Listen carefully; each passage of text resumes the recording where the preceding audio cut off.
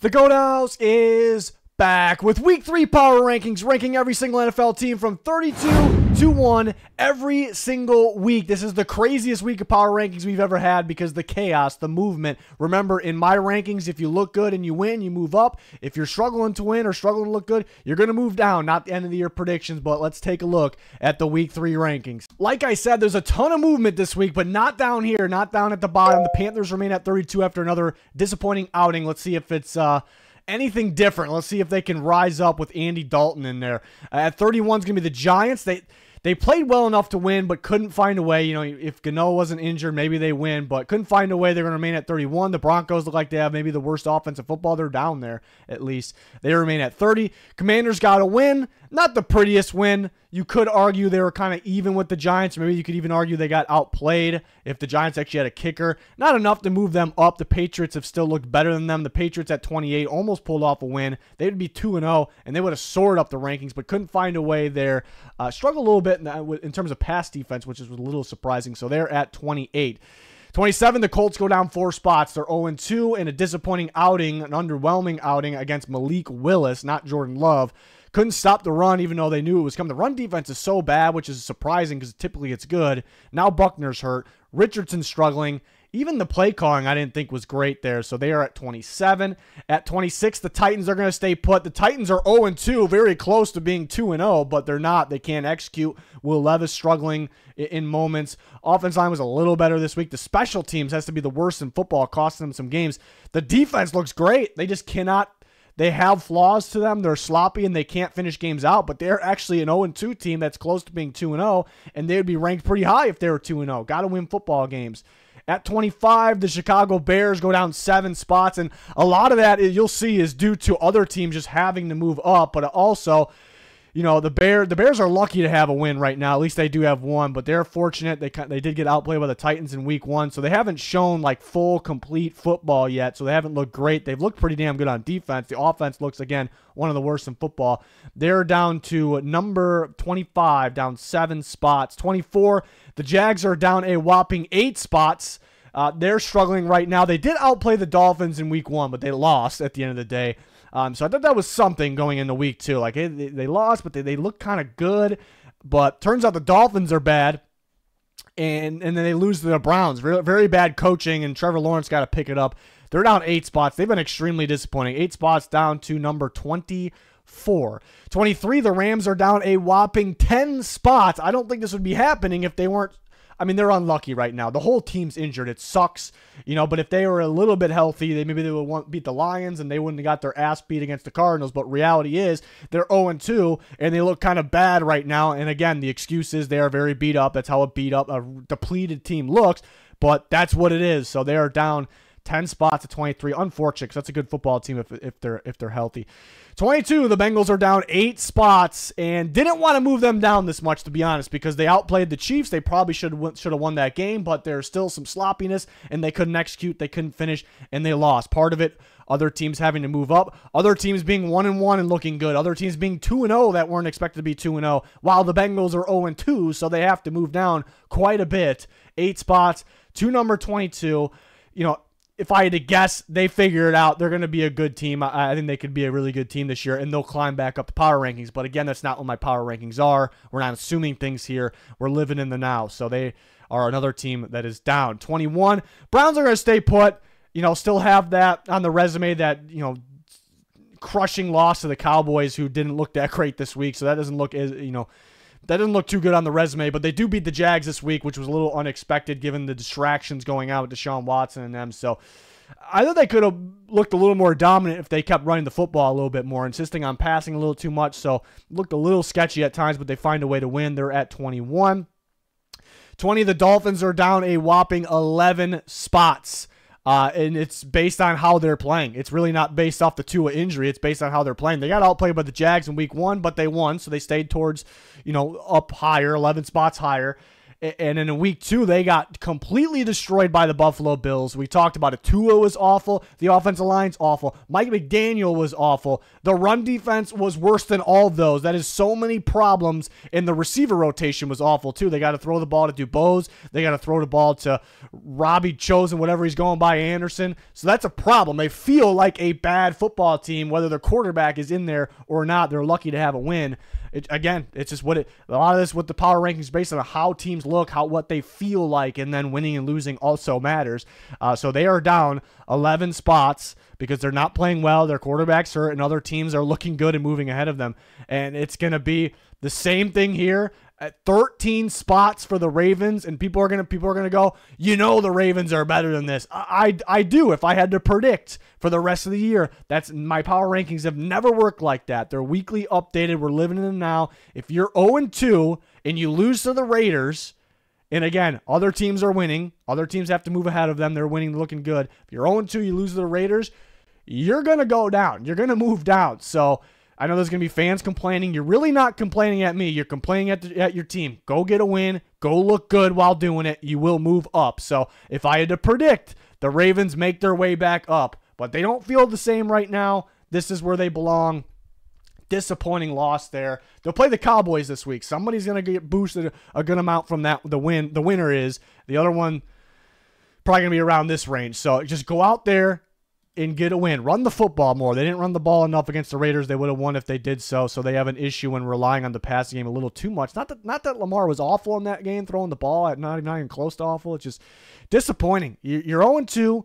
You're going to be down here. We can't base things off the name just because they, they're the Baltimore Ravens. We're going to keep them at the top. No, we're not going to do that. 18, there's the Raiders. I mean, the Raiders, you know, didn't look great in the first week, so they that's still kind of, you know, are on the resume, obviously.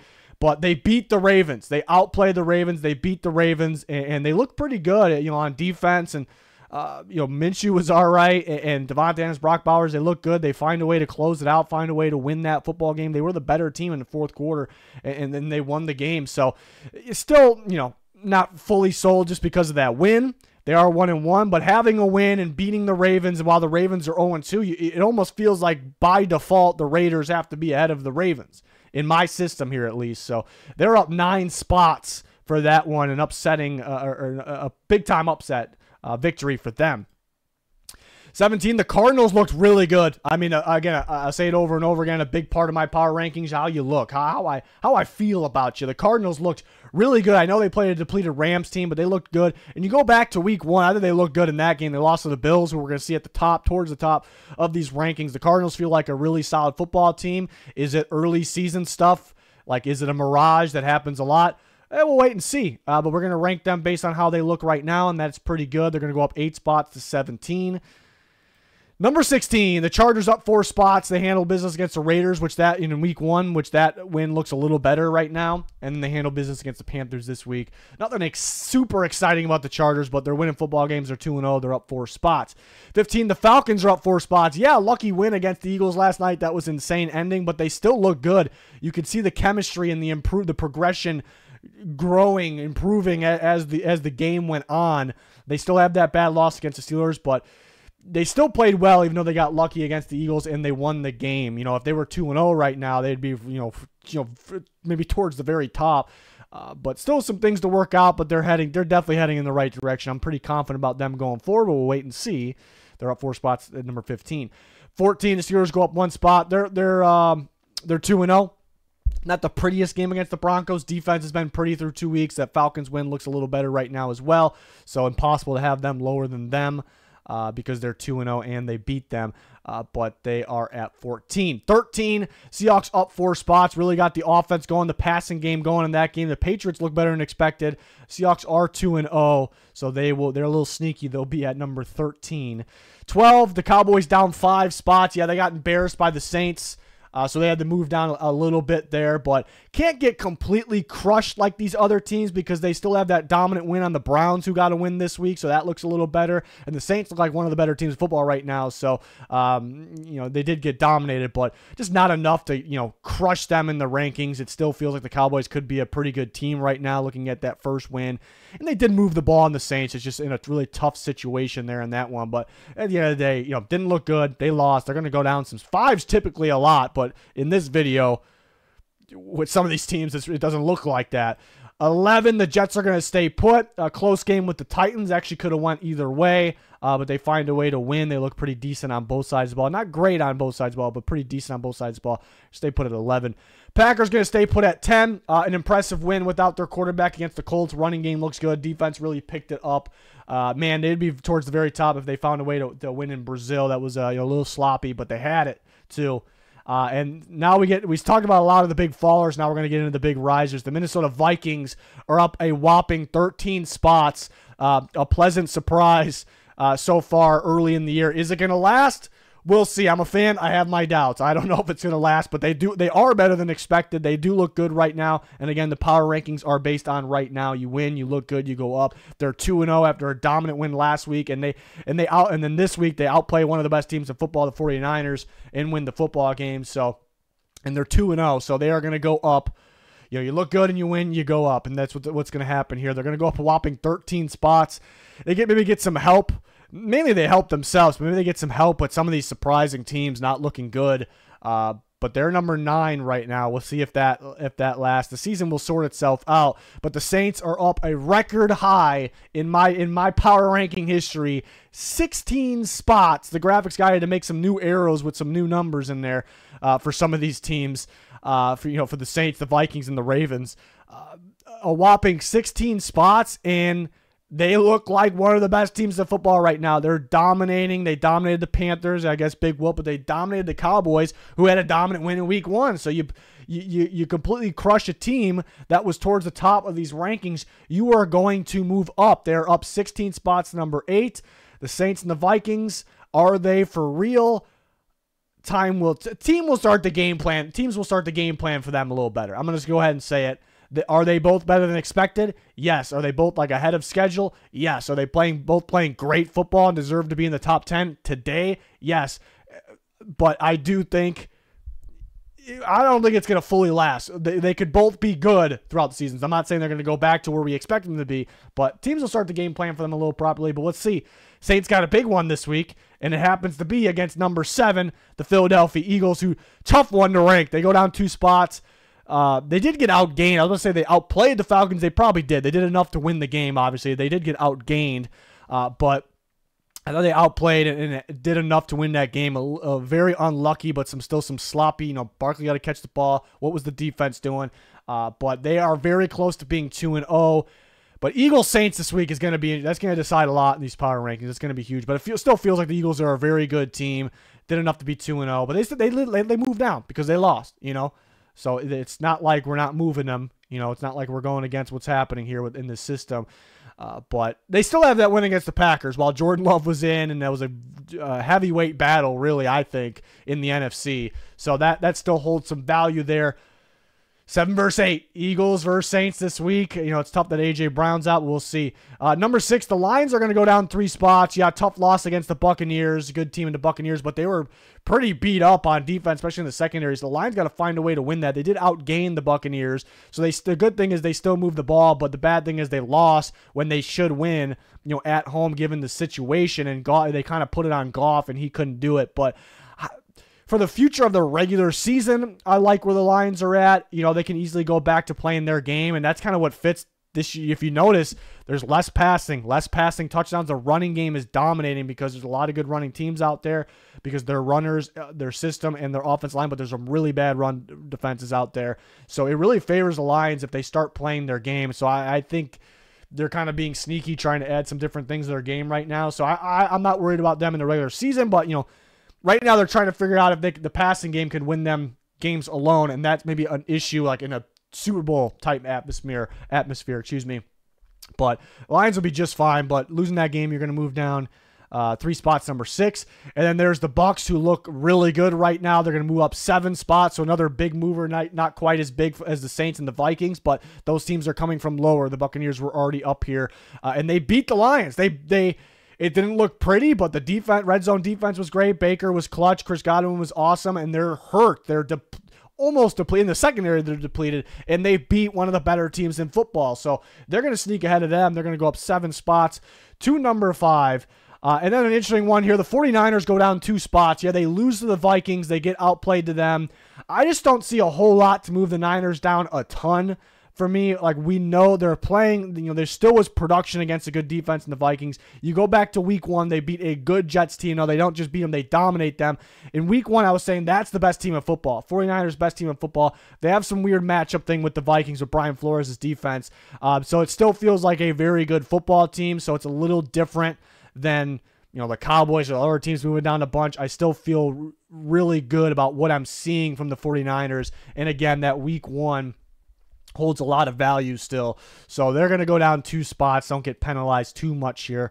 They're at four. On to the top three. Buffalo Bills up five spots. I thought about them number two. A really close battle between two and three. Really one, two, and three uh, because the Bills look so good. They dominate the Dolphins and they beat the, the Card- Cardinals are a good football team. We, we can see now. And they beat them in week one. You still have some worries about the defense, specifically the run defense, but they're up five spots to number three.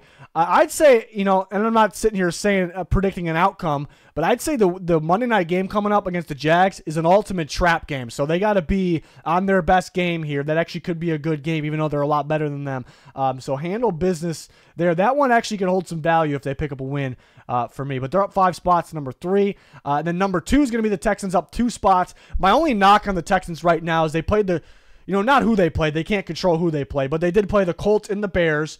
You know, not the best teams and they completely outplayed those teams, but they barely won those games. So that's kind of my issue. What if you play a good team and, and you dominate them, but you let it slip through? Eh, you know, because eh, you know the Bears had a chance. They got the ball back in that last drive. Like, what if you're playing? They play the Vikings this week and they get a la- uh, one more chance. Do you lose the game? So those games that they completely outplay their opponent, I want them to finish those. That's a little that's a little scary, but man, it's a good football team. They're explosive. They can they hang on to wins. Uh, you know, passing games there, the running games there. Uh, the the defense they add a little another element to their game with the blitz, so uh, they can win on all phases. Uh, they are deserving of being number two right now, and then number one is still going to be the Kansas City Chiefs, who actually got outplayed by the Bengals. You know, I guess debatable. They were right there with the Bengals. They're clutch though. They find Mahomes didn't play his best game. They didn't really play their best game at all, and they still found a way to win. So I think that means something as well. But that's what they do. They find ways to win. They have some injuries. Hollywood Brown going to be out for the year. They didn't have him yet though this year. Pacheco going to be out six to eight weeks, so that's that's pretty tough. Um, I will say it, a tough, tough blow for the Eagles because if they that was a good game where they looked good for the most part against the Falcons. If they won that game that we could be talking about that number two. Maybe they even hop the Chiefs if they end up like dominating that game. At times they look like that. So that was tough for the Eagles to let that one slip away. Um, you know, I, that's you know Barkley dropping that ball, getting a little too cute with coaching, and then uh, the defense at the end. I don't know. I don't know what what that was, but that'll do it for the the most chaotic power rankings we've had. But this is my system and how it works. It makes the weekly updated part make sense to me. So let me know your guys' thoughts in the comments. Our week three picks video, our pick'ems video is next every Tuesday night. Check out our recap videos. We graded every single team.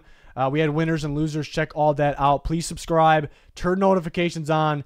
You will not regret that. It's going to do it. Thanks for watching. Goodbye.